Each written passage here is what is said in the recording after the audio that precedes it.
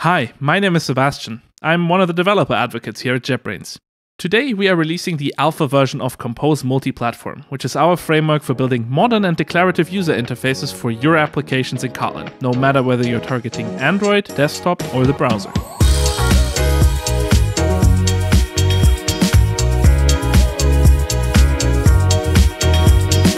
If you're a mobile developer, you may have already heard about the Jetpack Compose framework, which is Android's modern toolkit for building native user interfaces. Now, in collaboration with Google, JetBrains is bringing that framework to new places. With Compose multi-platform, you can use the same declarative approach and APIs used to build modern Android applications to create user interfaces for desktop apps and apps running in the browser, powered by Kotlin on the JVM and Kotlin JS.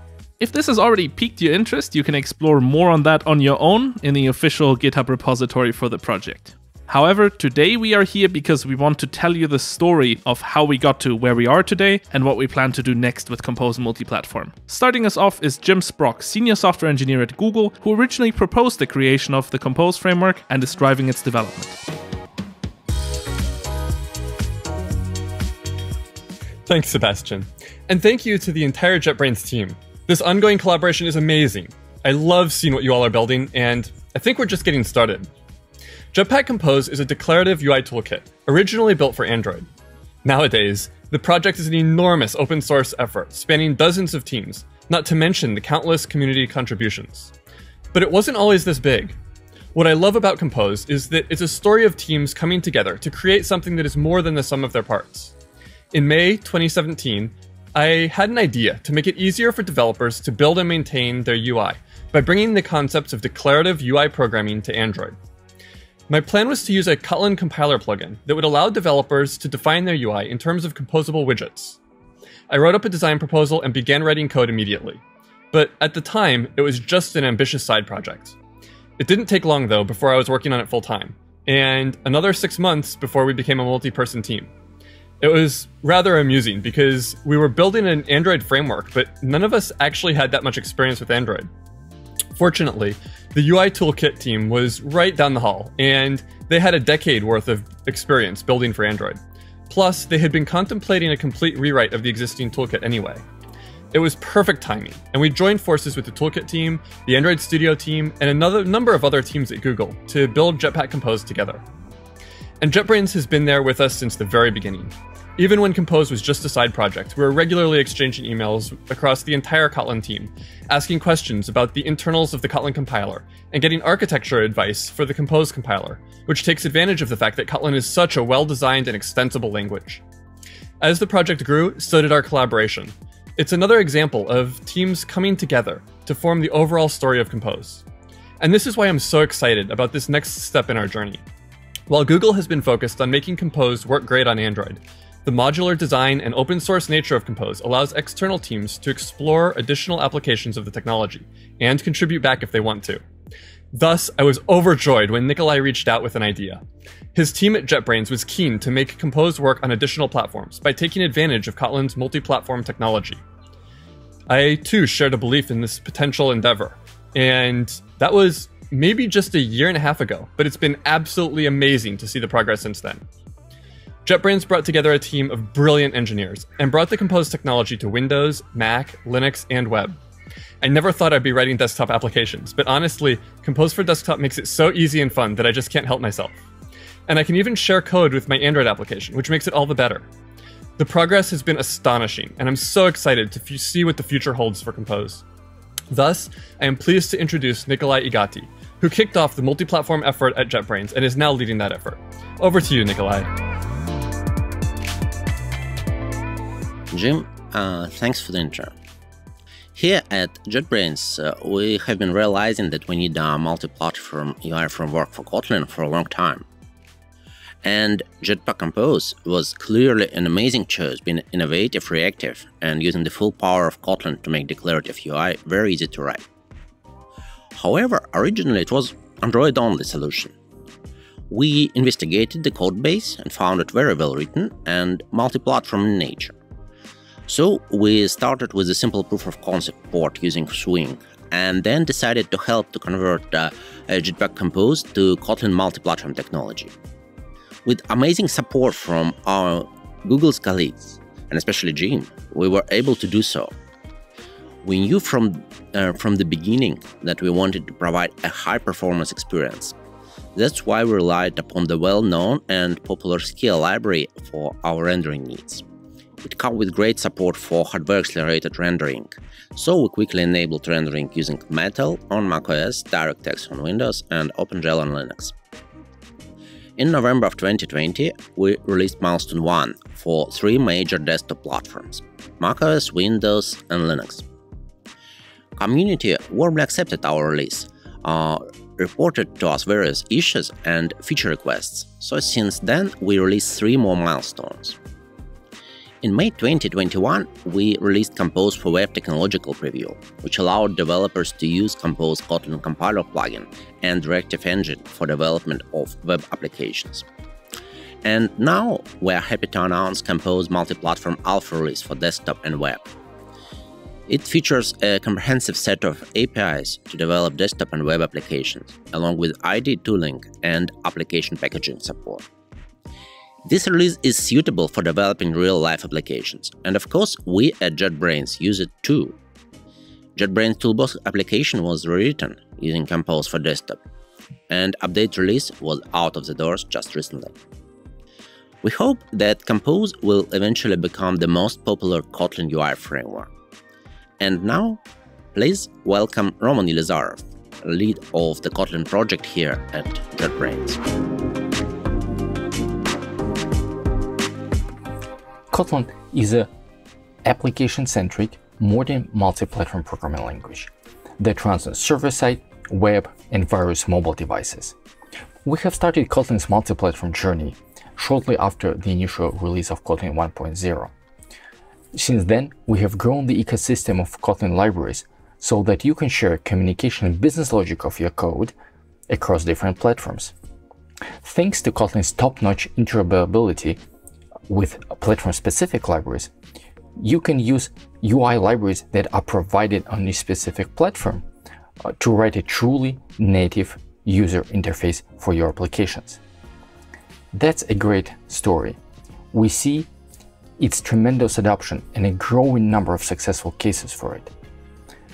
However, at the same time, we see that many developers would gladly trade a platform native UI for truly cross-platform one, so that they can write their code just once using a single set of common UI libraries and deploy it on multiple front-end application platforms so that they can further save their development effort and increase the fraction of shared code in their projects. And that's exactly the niche that Compose fills. Compose is a modern reactive UI framework that builds and expands upon the features of the Kotlin language itself, embracing and matching Kotlin's philosophy of readability and ease of use, minimizing tedious boilerplate, and focusing developers' attention on the task at hand. Compose is the latest contribution to the ecosystem of multi-platform Kotlin libraries that builds upon existing libraries like coroutines and provides ample opportunities for building further libraries on top of it.